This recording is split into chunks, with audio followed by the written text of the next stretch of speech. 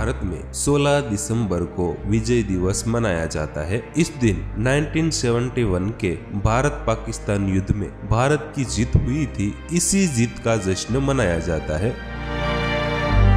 इस युद्ध में भारत ने पाकिस्तान को हरा दिया और पूर्वी पाकिस्तान स्वतंत्र हो गया था। दोस्तों, इस पूर्वी पाकिस्तान को आज बांग्लादेश के नाम से जाना जाता है। विजय दिवस पर शहीदों और उनके बलिदान को याद किया जाता है। साथ ही देश के लिए सशस्त्र बलों की भूमिका को मज़बूत करने के लिए भी यह दिन मनाया जाता है। दोस्तों, साथ ही साथ आपको बता दें कि भारत में 26 जुलाई को कारगिल विजय दिवस मनाया जाता है। यह दिन 1999 में पाकिस्तान पर भारत की जीत की याद में मनाया जाता है। 26 जुलाई को भारतीय सैनिकों ने कारगिल की बर्फीली चोटियों पर लगभग तीन महीने की लंबी लड़ाई के बाद पाकिस्तानी रेंजर्स को हराया था।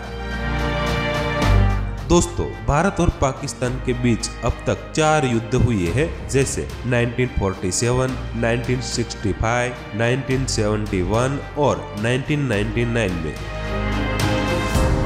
इन युद्धों में सबसे बड़ा मुद्दा कश्मीर रहा है। 1947 में हुए युद्ध को प्रथम कश्मीर युद्ध कहा जाता है। 1965 का युद्ध पाकिस्तान के ऑपरेशन जिब्राल्टर के कारण शुरू हुआ था। इस ऑपरेशन के तहत पाकिस्तान ने कश्मीर में सेना की घुसपैठ कराने की योजना बनाई थी। 1971 के युद्ध को बांग्लादेश मुक्त संग्राम के नाम से भी जाना जाता है। इस युद्ध से बांग्लादेश नामक एक नए देश का निर्माण हुआ था। 1999 में भारत और पाकिस्तान के बीच सीमा युद्ध हुआ था।